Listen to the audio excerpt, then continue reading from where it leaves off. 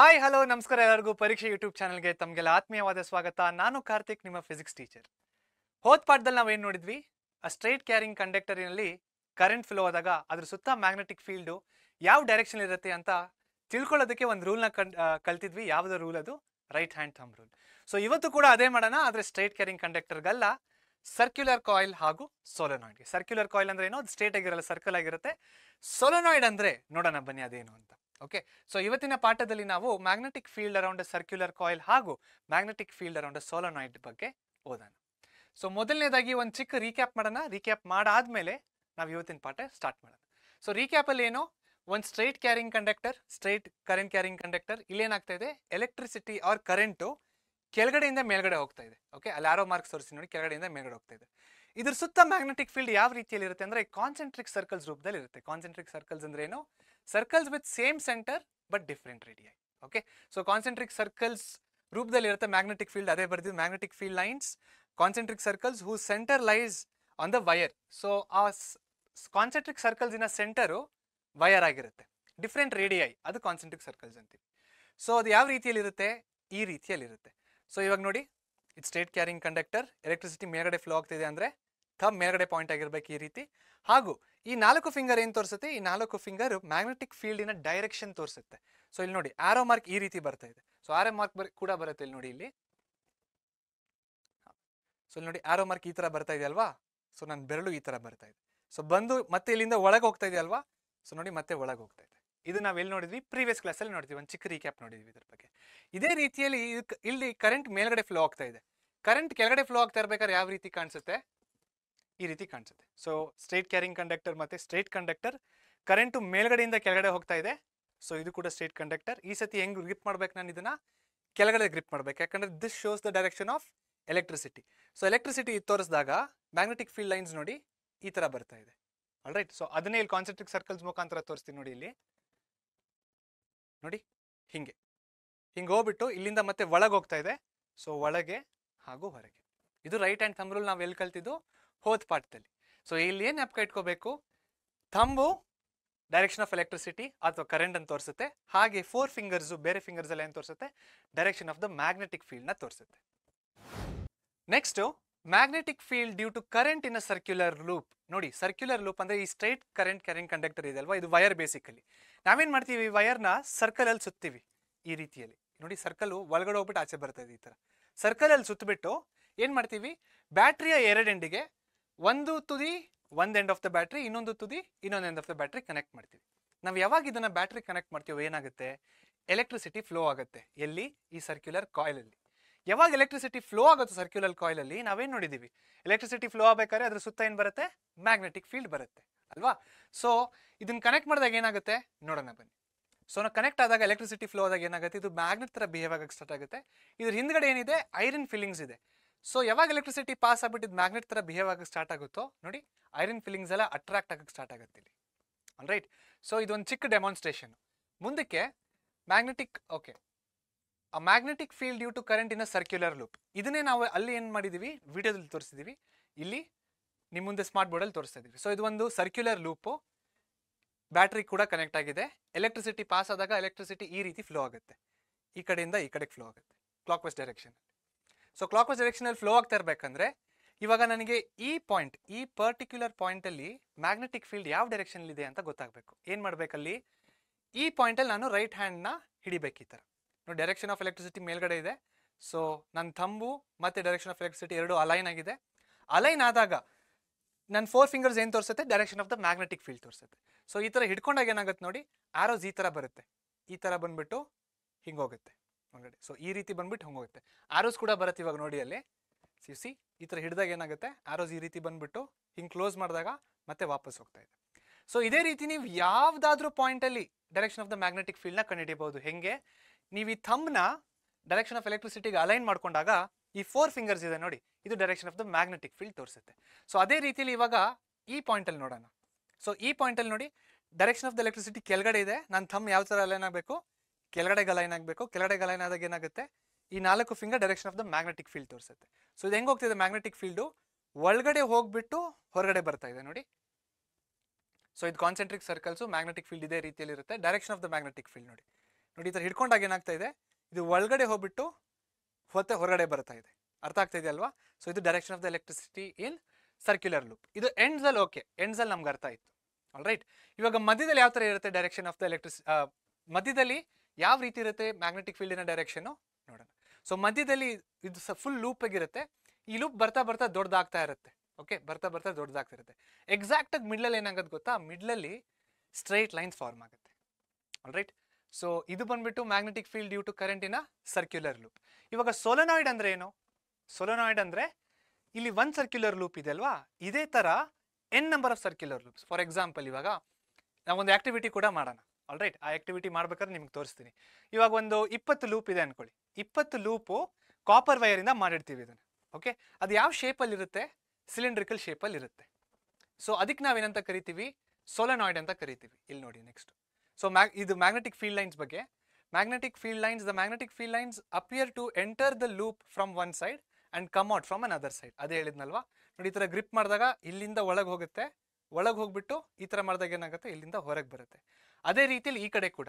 ಮಧ್ಯದಲ್ಲಿ magnetic field ಯಾವ ಥರ ಇರುತ್ತೆ? ಸ್ಟ್ರೈಟ್ ಆಗಿರುತ್ತೆ. So field lines at the center of the loop is a straight line all right next ಏನಿದೆ ನಮ್ಮ ಹತ್ರ? Magnetic field around a solenoid solenoid ಅಂದ್ರೆ ಇವಾಗ ನೀವು ಸರ್ಕ್ಯುಲರ್ ಲೂಪ್ ನೋಡಿದ್ವಲ್ಲ? ಆ ಲೂಪ್ನೇ ಆ ಸರ್ಕ್ಯುಲರ್ ಲೂಪ್ನೇ ಒಂದು ಎನ್ ಟರ್ನ್ಸ್ ಎನ್ ಅಂದ್ರೆ ಫಾರ್ ಎಕ್ಸಾಂಪಲ್ ಇವಾಗ ನಾವು ಒಂದು ಆಕ್ಟಿವಿಟಿ ಕೂಡ ಮಾಡ್ತೀವಿ. ಈ ಸ್ಲೈಡ್ ಆಗಿದ ತಕ್ಷಣ. ಸೊ ಆಕ್ಟಿವಿಟಿಲಿ ನೀವು ಸೋಲೋನಾಯ್ಡ್ನ ನೋಡ್ಬೋದು. ಸೊ ಅಲ್ಲಿ ನಾವು ಒಂದು ಇಪ್ಪತ್ತು ಟರ್ನ್ ಮಾಡಿದ್ದೀನಿ. ಆಲ್ ರೈಟ್ ಇಪ್ಪತ್ತು ಟರ್ನ್ ಆಗಿದೆ. ಸೊ, ಇದು ಯಾವ್ದ್ರಿಂದ, ಯಾವ ವಯರಿಂದ ನಾವು ಮಾಡಿರ್ತೀವಿ? ಇನ್ಸುಲೇಟೆಡ್ ಕಾಪರ್ ವಯರಿಂದ ಮಾಡಿರ್ತೀವಿ. ಅದನ್ನ ಏನು ಮಾಡಿರ್ತೀವಿ? ರ್ಯಾಪ್ ಮಾಡಿರ್ತೀವಿ. ಯಾವ ಫಾರ್ಮಲ್ಲಿ ಸಿಲಿಂಡ್ರಿಕಲ್ ಫಾರ್ಮಲ್ಲಿ ರ್ಯಾಪ್ ಆಗಿರುತ್ತೆ. ಸೊ, ಅದಕ್ಕೆ ನಾವೇನಂತ ಕರಿತೀವಿ? ಸೊಲೊನಾಯ್ಡ್ ಅಂತ ಕರಿತೀವಿ. ಅಲ್ವಾ? ಇವಾಗ ನೋಡಿ ಸೊಲೊನಾಯ್ಡ್ ಈ ರೀತಿ ಕಾಣಿಸುತ್ತೆ. ಸೊ, ಇದೊಂದು ಕಾಪರ್ ವಯರ್ ಏನು ಮಾಡ್ತಿದ್ದೀವಿ ಇದನ್ನ? ಸುತ್ತುತ್ತಾ ಇದ್ದೀವಿ ಈ ಥರ ಓಕೆ ಇಲ್ಲಿ ಎಷ್ಟು ಸುತ್ತ ಸುತ್ತಿದ್ದೀವಿ ಇಲ್ಲಿ ಒಂದು ಆರು ಸುತ್ತನ ಸುತ್ತಿದ್ದೀವಿ ಆ ಥರ ನೀವು ಎಷ್ಟೇ ಸುತ್ತನ ಸುತ್ತಬಹುದು ಆಲ್ರೈಟ್ ಇವಾಗ ಒಂದೇ ಒಂದು ಸುತ್ತನ, ಇವಾಗ ಒಂದೇ ಒಂದು ಸುತ್ತು ನಾನು ಸುತ್ತಿದೆ ಅಂದರೆ ಒಂದೇ ಒಂದು ಸುತ್ತಿಗೆ ಇವಾಗ ಮ್ಯಾಗ್ನೆಟಿಕ್ ಫೀಲ್ಡ್ ಬಂದ್ಬಿಟ್ಟು ಒಂದು ಫೈವ್ ಇರುತ್ತೆ ಅನ್ಕೊಳ್ಳಿ. ಓಕೆ ಒಂದೇ ಒಂದು ಸುತ್ತಿಗೆ ಐದು ಇರುತ್ತೆ ಮ್ಯಾಗ್ನೆಟಿಕ್ ಫೀಲ್ಡು ಇದೇ ರೀತಿಯಲ್ಲಿ ನಾನು ಒಂದು ಇಪ್ಪತ್ತು ಸುತ್ತನ ಸುತ್ತಿದೆ ಅನ್ಕೊಳ್ಳಿ. ಓಕೆ ಟ್ವೆಂಟಿ ಟರ್ನ್ಸ್ ಮಾಡಿದ್ರೆ ಏನಾಗುತ್ತೆ? ಫೈವ್ ಇಂಟು ಎಷ್ಟು turns ಆಗಿರುತ್ತೋ twenty so it will be equal to hundred so ಏನಾಗ್ತಾ ಇದೆ ಇಲ್ಲಿ? ನಾವು ಎಷ್ಟು ಸುತ್ತನ ಸುತ್ತೀವೋ ಮ್ಯಾಗ್ನೆಟಿಕ್ ಫೀಲ್ಡ್ ಅಷ್ಟು ಸ್ಟ್ರಾಂಗ್ ಆಗುತ್ತೆ. ಅರ್ಥ ಆಯ್ತಲ್ವಾ? ಸೊ ಇದೊಂದು ಪಾಯಿಂಟ್ ಗಮನದಲ್ಲಿ ಇಟ್ಕೋಬೇಕು. ಸೊ ಈ ಸೊಲನೈಡ್ನ ಇವಾಗ ನೀವು ಈ ಕಡೆ ಅಥವಾ ಈ ಕಡೆಯಿಂದ ನೋಡಿದ್ರೆ ಯಾವ ರೀತಿ ಕಾಣಿಸುತ್ತೆ? ಈ ರೀತಿಯಲ್ಲಿ ಕಾಣಿಸುತ್ತೆ. ಓಕೆ ಸೊ ಇದಕ್ಕೆ ನಾವೇನಂತ ಕರಿತೀವಿ? ಸೊಲನಾಯ್ಡ್ ಅಂತ ಕರಿತೀವಿ. ಇವಾಗ ಈ ಸೊಲನಾಯ್ಡಿನ ಸುತ್ತ ಮ್ಯಾಗ್ನೆಟಿಕ್ ಫೀಲ್ಡ್ ಯಾವ ರೀತಿಯಲ್ಲಿ ಇರುತ್ತೆ ಅಂತ ನೋಡೋಣ. ನೋಡಿ, ಈ ಸೊಲನಾಯ್ಡ್ಗ ಏನ್ ಮಾಡಿದೀವಿ ನಾವು? ಬ್ಯಾಟ್ರಿ ಕನೆಕ್ಟ್ ಮಾಡಿದೀವಿ. ಬ್ಯಾಟ್ರಿ ಕನೆಕ್ಟ್ ಮಾಡಿದಾಗ ಏನಾಗುತ್ತೆ? ಕರೆಂಟ್ ಫ್ಲೋ ಆಗಕ್ಕೆ ಸ್ಟಾರ್ಟ್ ಆಗುತ್ತೆ. ಯಾವಾಗ ಕರೆಂಟ್ ಫ್ಲೋ ಆಗಕ್ಕೆ ಸ್ಟಾರ್ಟ್ ಆಗುತ್ತೋ ಅವಾಗ ಏನಾಗುತ್ತೆ? ಮ್ಯಾಗ್ನೆಟಿಕ್ ಫೀಲ್ಡ್ ಜನರೇಟ್ ಆಗುತ್ತೆ. ಮ್ಯಾಗ್ನೆಟಿಕ್ ಫೀಲ್ಡ್ ಯಾವ ರೀತಿಯಲ್ಲಿ ಇರುತ್ತೆ? ಈ ರೀತಿಯಲ್ಲಿ ಇರುತ್ತೆ ಮ್ಯಾಗ್ನೆಟಿಕ್ ಫೀಲ್ಡ್ ಒಂದು ಕಡೆಯಿಂದ ಒಳಗೆ ಹೋಗುತ್ತೆ, ಇನ್ನೊಂದು ಕಡೆಯಿಂದ ಆಚೆ ಬರುತ್ತೆ. ನೋಡಿ, ಎಲ್ಲ ಮ್ಯಾಗ್ನೆಟಿಕ್ ಫೀಲ್ಡ್ ಹಂಗೆ ಥರ ಇದೆ. ಇಲ್ಲಿಂದ ಒಳಗೆ ಹೋಗುತ್ತೆ, ಇಲ್ಲಿಂದ ಆಚೆ ಬರುತ್ತೆ. ಇಲ್ಲಿ ಏನಪ್ಪ ಅಂದರೆ, ಈ ಸೊಲೋನಾಯ್ಡಿಗೆ ನಾವು ಯಾವಾಗ ಎಲೆಕ್ಟ್ರಿಸಿಟಿನ ಪಾಸ್ ಮಾಡ್ತೀವೋ ಕರೆಂಟ್ನ ಪಾಸ್ ಮಾಡ್ತೀವೋ, ಇದು ಎಕ್ಸಾಕ್ಟ್ಲಿ ಸೇಮ್ ಬಾರ್ ಮ್ಯಾಗ್ನೆಟ್ ಥರ ಬಿಹೇವ್ ಆಗಕ್ಕೆ ಸ್ಟಾರ್ಟ್ ಆಗುತ್ತೆ. ಸೊ ಬಾರ್ ಮ್ಯಾಗ್ನೆಟಲ್ಲಿ ಏನಾಗ್ತಿತ್ತು? ನಾಪ್ಕ ಇದೆಯಲ್ವಾ? ಸೊ ಇದು ಕೂಡ ಅದೇ ಕ್ಯಾರೆಕ್ಟರಿಸ್ಟಿಕ್ನ ಶೋ ಮಾಡುತ್ತೆ. ಸೊ ಅಲ್ಲಿ ನೋಡಿ magnetic field lines same as that of the Mar bar magnet so bar ಮ್ಯಾಗ್ನೆಟಲ್ಲಿ ಮ್ಯಾಗ್ನೆಟಿಕ್ ಫೀಲ್ಡ್ ಲೈನ್ಸ್ ಯಾವ ರೀತಿಯಲ್ಲಿ ಇರುತ್ತೋ ಅದೇ ರೀತಿಯಲ್ಲಿ ಸೊಲೊನೈಡಲ್ಲಿ ಕೂಡ ಇರುತ್ತೆ. ಅದ್ರ ಜೊತೆಗೆ inside the solenoid field lines are parallel to each other ಇಲ್ಲೇ ನೋಡ್ಬೋದು ನೀವು. ನೋಡಿ ಇಲ್ಲಿ. Inside the solenoid field lines ಏನಾಗುತ್ತೆ? ಫೀಲ್ಡ್ ಲೈನ್ಸ್ ಪ್ಯಾರಲ್ ಆಗಿರುತ್ತೆ. ಪ್ಯಾರಲ್ ಅಂದ್ರೆ ಹೆಂಗಿರುತ್ತೆ? ಒಂದಕ್ಕೊಂದು ಒಂದು ಒಂದು ಲೈನು ಇಂಟರ್ಸೆಕ್ಟ್ ಆಗೋದೇ ಇಲ್ಲ. ಅದು ಸಮಾಂತರವಾಗಿರುತ್ತೆ. ಎರಡು ಲೈನ್ಗಳ ನಡುವೆ ಸಮಾಂತರ ದೂರ ಇರುತ್ತೆ. ಅಂದ್ರೆ ಈ ಡಿಸ್ಟೆನ್ಸ್ ಕಾನ್ಸ್ಟೆಂಟ್ ಆಗಿರುತ್ತೆ which will never intersect teacher this is called as what parallel lines so ನಾವಿಲ್ಲಿ ನೆನಪು ಇಟ್ಕೋಬೇಕು ಸೊಲೊನಾಯ್ಡ್ ಅಂದ್ರೆ ಏನು? ಮೊದಲನೇ ಪಾಯಿಂಟ್ ಸೊಲೊನಾಯ್ಡ್ ಅಂದ್ರೆ ಇನ್ಸುಲೇಟೆಡ್ ಕಾಪರ್ ವೈರ್ನ ಎನ್ ನಂಬರ್ ಆಫ್ ಟೈಮ್ಸ್ ನಾವು ಸುತ್ತಿದಾಗ ಯಾವ ರೀತಿಯಲ್ಲಿ? ಸಿಲಿಂಡ್ರಿಕಲ್ ಶೇಪಲ್ಲಿ ಸೊಲೊನಾಯ್ಡ್ ಫಾರ್ಮ್ ಆಗುತ್ತೆ. ಈ ಸೊಲೊನಾಯ್ಡ್ ನಾವು ಯಾವಾಗ ಎಲೆಕ್ಟ್ರಿಸಿಟಿ ಪಾಸ್ ಮಾಡ್ತೀವೋ ಏನಾಗುತ್ತೆ? Same it will behave like a bar magnet so bar magnet ಅಂದ್ರೆ ಏನು? ಗೊತ್ತಲ್ವಾ ನಿಮ್ಗೆ? ಅದನ್ನ ಆಲ್ರೆಡಿ ನಾವು ಓದಿದ್ದೀವಿ. ಒಂದ್ ಕಡೆಯಿಂದ ಹೊರಗೆ ಹೋಗುತ್ತೆ, ಇನ್ನೊಂದು ಕಡೆಯಿಂದ ಆಚೆ ಬರೋದಕ್ಕೆ ಸ್ಟಾರ್ಟ್ ಆಗುತ್ತೆ. ಸೊ ಇಷ್ಟು ಪಾಯಿಂಟ್ಸ್ ಸೊಲೋನೈಟ್ ಬಗ್ಗೆ ನೀವು ಜ್ಞಾಪಕ ಇಟ್ಕೋಬೇಕು. ಇವಾಗ ಒಂದು ಚಿಕ್ಕ ಆಕ್ಟಿವಿಟಿ ಮಾಡೋಣ ಬನ್ನಿ. ಇಲ್ಲಿ ನೋಡಿ ನಮ್ಮ ಹತ್ರ ಏನಿದೆ? ಎರಡು ಐಡೆಂಟಿಕಲ್ ಐರನ್ ನೇಲ್ಸ್ಗಳಿದ್ದಾವೆ ಏನು ವ್ಯತ್ಯಾಸ ಅಂದರೆ ಇವೆರಡಕ್ಕೂ ಒಂದು ನೇಲಿಗೆ ನಾವು ಯಾವ ಕಾಪರ್ ವೈರು ಸುತ್ತಿಲ್ಲ, ಇನ್ನೊಂದು ನೇಲಿಗೆ ಒಂದು ಕಾಪರ್ ವೈರ್ ಸುತ್ತಿದ್ದೀವಿ ಸೊ ಇಲ್ಲೇನು ಮಾಡ್ತಾ ಇದ್ದೀವಿ ಈ ನೇಲಿಗೆ ಕಾಪರ್ ವೈರ್ ಸುದ್ದೇ ಇರೋ ಕಾರಣ, ಯಾವುದು ಮ್ಯಾಗ್ನೆಟಿಕ್ ಫೀಲ್ಡ್ ಇಲ್ಲದೆ ಇರೋ ಕಾರಣ, ಈ ನೇಲ್ನ ಈ ಪಿನ್ನಿಗೆ ಟಚ್ ಮಾಡಿದ್ರೆ ನೋಡಿ, ಅದು ಅಟ್ರಾಕ್ಟ್ ಆಗ್ತಾನೆ ಇಲ್ಲ. ಅದೇ, ಇವಾಗ ಈ ನೈಲ್ನ ತೊಗೊಳ್ಳೋಣ. ಈ ನೈಲ್ನ ತಗೊಂಡು ಎರಡು ಎಣ್ಣ, ಒಂದು ನೆಗೆಟಿವ್ ಎಂಡ್ ಬ್ಯಾಟ್ರಿಯ ಒಂದು ನೆಗೆಟಿವ್ ಎಂಡು ಇನ್ನೊಂದು ಪಾಸಿಟಿವ್ ಎಂಡಿಗೆ ಕನೆಕ್ಟ್ ಮಾಡಿದ್ರೆ ಏನಾಗುತ್ತೆ? ಎಲೆಕ್ಟ್ರಿಸಿಟಿ ಫ್ಲೋ ಆಗೋಕ್ಕೆ ಸ್ಟಾರ್ಟ್ ಆಗುತ್ತೆ. ಯಾವಾಗ ಎಲೆಕ್ಟ್ರಿಸಿಟಿ ಫ್ಲೋ ಆಗೋಕ್ಕೆ ಸ್ಟಾರ್ಟ್ ಆಗುತ್ತೋ ಮ್ಯಾಗ್ನೆಟಿಕ್ ಫೀಲ್ಡ್ ಜನರೇಟ್ ಆಗುತ್ತೆ. ಮ್ಯಾಗ್ನೆಟಿಕ್ ಫೀಲ್ಡ್ ಯಾವಾಗ ಜನರೇಟ್ ಆಗುತ್ತೋ ನೋಡಿ ಇಲ್ಲಿ ಸುಮ್ಮನೆ ಟಚ್ ಮಾಡಿದ್ರೆ ಮ್ಯಾಗ್ನೆಟೈಸ್ ಆಗೋಗಿರುತ್ತೆ. ಓಕೆ ಸೊ ಇದರಿಂದ ನಾವು ಏನು ಹೇಳ್ಬೋದು? ಎಲೆಕ್ಟ್ರಿಸಿಟಿ ಯಾವಾಗ ಫ್ಲೋ ಆಗುತ್ತೋ ಕಾಪರ್ ವೈರ್ ಮುಖಾಂತರ ಮ್ಯಾಗ್ನೆಟಿಕ್ ಫೀಲ್ಡ್ ಜನರೇಟ್ ಆಗುತ್ತೆ. ಮ್ಯಾಗ್ನೆಟಿಕ್ ಫೀಲ್ಡ್ ಜನರೇಟ್ ಆಗಿಬಿಟ್ಟು ಈ ನೇಲ್ ಕೂಡ ಒಂದು ಮ್ಯಾಗ್ನೆಟ್ ಥರನೇ ಬಿಹೇವ್ ಮಾಡಕ್ಕೆ ಸ್ಟಾರ್ಟ್ ಆಗುತ್ತೆ. ಸೊ ನೋಡಿ, ಇದೇ ಸೊಲೋನಾಯ್ಡ್ ಅಂದರೆ ಈ ಕಾಪರ್ ವೈರ್ ಸುತ್ತಿದೀವಲ್ವ ಈ ಥರ ಇದನ್ನೇ ನಾವು ಸೊಲೋನಾಯ್ಡ್ ಅಂತೀವಿ. ಇಲ್ಲಿ ಎಷ್ಟು ನಂಬರ್ ಆಫ್ ಜಾಸ್ತಿ ನಂಬರ್ ಆಫ್ ಟರ್ನ್ಸ್ ಮಾಡ್ದಂಗೆ ಮ್ಯಾಗ್ನೆಟ್ ಅಷ್ಟು ಸ್ಟ್ರಾಂಗ್ ಆಗುತ್ತೆ. ಕಡಿಮೆ ಟರ್ನ್ಸ್ ಇದ್ದಂಗೆ ಮ್ಯಾಗ್ನೆಟ್ ಅಷ್ಟು ವೀಕ್ ಆಗಿರುತ್ತೆ. ಈ ಸೊಲೋನಾಯ್ಡ್ ಮಧ್ಯದಲ್ಲಿ ನಾವು ಒಂದು ಸಾಫ್ಟ್ ಐರನ್ನ ಹಾಕ್ಬೋದು. ಆ ಸಾಫ್ಟ್ ಐರನ್ನ ಹಾಕಿದಾಗ ಏನಾಗುತ್ತೆ ಅಂದರೆ ಅದು ಮ್ಯಾಗ್ನೆಟ್ ಥರ ಬಿಹೇವ್ ಆಗಕ್ಕೆ ಸ್ಟಾರ್ಟ್ ಆಗುತ್ತೆ? ಏನು ಸಾಫ್ಟ್ ಐರನ್ ಅಂದರೆ? ಸಾಫ್ಟ್ ಐರನ್ ಅಂದರೆ ಅದೊಂದು ಮೆಟೀರಿಯಲು. ಅದಕ್ಕೆ ಯಾವಾಗ ನಾವು ಎಲೆಕ್ಟ್ರಿಸಿಟಿ ಪಾಸ್ ಮಾಡ್ತೀವೋ ಮ್ಯಾಗ್ನೆಟಿಕ್ ಫೀಲ್ಡಿಂದ ಅದು ಕೂಡ ಒಂದು ಮ್ಯಾಗ್ನೆಟ್ ಥರ ಬಿಹೇವ್ ಆಗಕ್ಕೆ ಸ್ಟಾರ್ಟ್ ಆಗುತ್ತೆ, ಅದೇ ರೀತಿಯಲ್ಲಿ ಈ ಸಾಫ್ಟ್ ಐರನ್ನ ಡಿಮ್ಯಾಗ್ನೆಟೈಸ್ ಕೂಡ ಮಾಡ್ಬೋದು. ಸೊ ಬನ್ನಿ ನಮ್ಮ ಪಾಠಕ್ಕೆ ವಾಪಸ್ ಹೋಗೋಣ ಈಗ. ನೋಡಿದ್ರಲ್ವಾ ಆಕ್ಟಿವಿಟಿನ? ಚೆನ್ನಾಗಿತ್ತಾ? ಮಜಾ ಬಂತಾ? ಓಕೆ. ಸೊ ನೆಕ್ಸ್ಟ್ ನಮ್ಮ ಹತ್ರ ಏನಿದೆ? ನೆಕ್ಸ್ಟ್ ಏನಿದೆ ಅಂದರೆ ಇನ್ ಟೆಕ್ಸ್ಟ್ ಕ್ವಶನ್ಸ್ ಇದೆ. ಸೊ ಕೆಲವು ಕ್ವಶನ್ಸ್ನ ಸಾಲ್ವ್ ಮಾಡೋಣ. ಇವತ್ತೇನು ಓದಿದೀವೋ ಅದ್ರ ಮೇಲೆ, ಆ ಟಾಪಿಕ್ಕಿನ ಮೇಲೆ ಕ್ವಶನ್ಸ್ ಇದೆ. ಸೊ ಕ್ವಶನ್ ನೋಡಿ ಮೊದಲನೇದಾಗಿ consider a circular loop of wire lying in the plane of the table let the current pass the loop clockwise apply the right hand thumb rule to find out the direction of the magnetic field inside and outside the loop so ಇಲ್ಲಿ ಏನಾಗ್ತಾ ಇದೆ ಅಂದರೆ, ಇಲ್ಲಿ ಒಂದು ಟೇಬಲ್ನ ಇಟ್ಟಿದ್ದಾರೆ. Okay ಈ ರೀತಿ ಒಂದು ಟೇಬಲ್ನ ಇಟ್ಟಿದ್ದಾರೆ. ಈ ಟೇಬಲಿನ ಮೇಲೆ ಏನಾಗ್ತಾ ಇದೆ? ಒಂದು ಸರ್ಕ್ಯುಲರ್ ಲೂಪ್ನ ಇಟ್ಟಿದ್ದೀವಿ. ಈ ರೀತಿ. ಓಕೆ ಸರ್ಕ್ಯುಲರ್ ಲೂಪ್ನ ಇಟ್ಟಿದ್ದೀವಿ. ಇದು ಪಾಸಿಟಿವ್ ಕನೆಕ್ಟ್ ಆಗಿದೆ. ನೆಗೆಟಿವ್ ಕನೆಕ್ಟ್ ಆಗ್ತಿದೆ. ಮತ್ತೆ ಇನ್ನೇನು ಹೇಳಿದ್ದಾರೆ ಅವರು? The current is passing through the loop in clockwise direction ಅಂದರೆ ಈ ರೀತಿ ಹೋಗ್ತಾ ಇದೆ current clockwise direction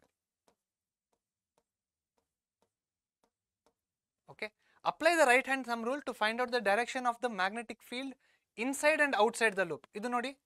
ಈ ಪಾರ್ಟ್ ಇದೆ ನೋಡಿ. ಇದು ಇನ್ಸೈಡ್ ದ ಲೂಪ್ ಇಲ್ಲೆಲ್ಲ ಇದೆ ನೋಡಿ. This is outside the loop okay ಅದನ್ನ ಅಳಿಸ್ಬಿಡ್ತೀನಿ. ನಿಮ್ಗೆ ತೋರಿಸೋದಕ್ಕೆ ಹೇಳಿದೆ ಅಷ್ಟೇ. ಓಕೆ ಇದು ಇನ್ಸೈಡ್ ದ ಲೂಪು ಇದು ಔಟ್ಸೈಡ್ ದ ಲೂಪ್ ಸೊ ಇದನ್ನೇ ಎತ್ಬಿಡ ಇವಾಗ ಡೈರೆಕ್ಷನ್ ಆಫ್ ದ ಮ್ಯಾಗ್ನೆಟಿಕ್ ಫೀಲ್ಡ್ನ ನಾವು ಹೇಳಬೇಕು. ಹೆಂಗೆ ಹೇಳಬೇಕು ಇದನ್ನು? ನಾವು ರೈಟ್ ಹ್ಯಾಂಡ್ ಥಂಬ್ ರೂಲ್ನ ಯೂಸ್ ಮಾಡಬೇಕು. ಏನು ತುಂಬ ಇಂಪಾರ್ಟೆಂಟು ನಮ್ಮ ಥಮ್ ಬಂದುಬಿಟ್ಟು ಡೈರೆಕ್ಷನ್ ಆಫ್ ದ ಎಲೆಕ್ಟ್ರಿಸಿಟಿಗೆ ಅಲೈನ್ ಆಗಿರಬೇಕು. ಸೊ ಇದನ್ನು ನೀವು ಇಮ್ಯಾಜಿನ್ ಮಾಡ್ಕೊಳ್ಳಿ. ನನ್ನ ಮುಂದೆ ಒಂದು ಟೇಬಲ್ ಇದೆ. ಟೇಬಲಿನ ಮೇಲೆ ಏನಿಟ್ಟಿದ್ದೀವಿ ನಾವು? ಒಂದು ಸರ್ಕ್ಯುಲರ್ ಲೂಪ್ ಇದೆ. ಸೊ ಸರ್ಕ್ಯುಲರ್ ಲೂಪಿನ ಈ ತುದಿ ಇವಾಗ ನಾನು ಹಿಂಗೆ ಹಿಡಿದ್ರೆ ಏನಾಗ್ತಾ ಇದೆ? ಔಟ್ಸೈಡ್ ದ ಲೂಪು ಆಚೆ ಬರ್ತಾ ಇದೆ magnetic field inside the loop ಏನಾಗ್ತದೆ? ಟೇಬಲಿನ ಒಳಗೆ ಹೋಗ್ತಾ ಇದೆ. ಓಕೆ ಸೊ ಇಲ್ಲೇನು ಬರಿಬೋದು ನಾವು? Inside the loop inside the loop magnetic field going inside the table ಅದೇ ರೀತಿ outside the loop outside the loop ಏನಾಗ್ತಾ ಇದೆ ನೋಡಿ? ಹಿಂಗಾಗ್ತಾ ಇದೆ. ಸೊ ಒಳಗಡೆ ಇನ್ಸೈಡ್ ದ ಲೂಪ್ ಏನಾಗ್ತಿದೆ? ಒಳಗೆ ಹೋಗ್ತಿದೆ ಟೇಬಲಿನ ಔಟ್ಸೈಡ್ ಇಂದ ಔಟ್ಸೈಡ್ ದ ಲೂಪ್ ಏನಾಗ್ತಿದೆ? Magnetic field going outside the table ಇದು ಇನ್ಸೈಡ್ ದ ಟೇಬಲ್ ಅರ್ಥ ಆಯ್ತಾ? ಅದೇ ರೀತಿಯಲ್ಲಿ ಇಲ್ಲಿ ಒಂದ್ಸತಿ ನೋಡೋಣ ನೋಡಿ. ಇವಾಗ ನಾವು ತಗೊಂಡಿದ್ದ ಪಾಯಿಂಟ್ ಯಾವುದು? ಈ ಪಾಯಿಂಟ್ನ ತಗೊಂಡಿದ್ದೀವಿ. ಇವಾಗ ಈ ಪಾಯಿಂಟ್ನ ಒಂದ್ಸರಿ ತೊಗೊಂಡ್ಬಿಟ್ಟು ಚೆಕ್ ಮಾಡೋಣ ಅದೇ ರೀತಿ. ಸೊ ಈ ಥರ ಹೋಗ್ತಾ ಇದೆ. ನೋಡಿ inside the inside the loop ಏನಾಗ್ತಿದೆ? Magnetic field is going inside the table ಈ ಥರ ಸುತ್ಕೊಂಡು ಹಿಂಗೆ ಬಂದಾಗ ಏನಾಗುತ್ತೆ? ಔಟ್ಸೈಡ್ ಏನಾಗುತ್ತೆ ಇಲ್ಲಿ? ಇಲ್ಲಿ ಟೇಬಲಿಂದ ಮೇಲೆ ಬರ್ತಾ ಇದೆ. ಇದು ಔಟ್ಸೈಡ್ ದ ಲೂಪ್ ಟೇಬಲಿನ ಲೂಪಿನ ಒಳಗೆ ಏನಾಗ್ತಾ ಇದೆ? ಮ್ಯಾಗ್ನೆಟಿಕ್ ಫೀಲ್ಡ್ ಒಳಗೆ ಹೋಗ್ತಾ ಇದೆ. ಸೊ ಅದೇ ಇಲ್ಲಿ ಕೇಳಿರೋ ಕ್ವಶನ್ ಆನ್ಸರ್ ಯಾವ ರೀತಿ ಬರಿಬೋದು ನೀವು?